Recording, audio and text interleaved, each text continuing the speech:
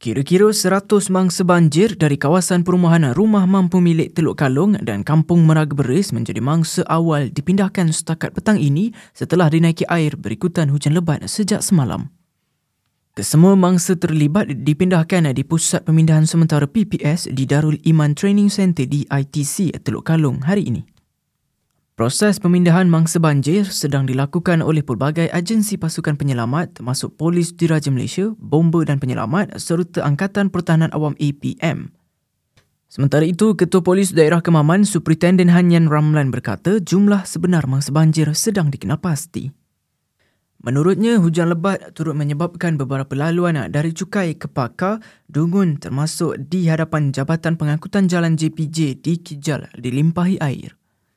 Hanian berkata penduduk di kawasan terlibat banjir dinasihatkan berpindah lebih awal dan mengikut arahan pihak berkuasa bagi mengelak sebarang kejadian tidak diingini berlaku.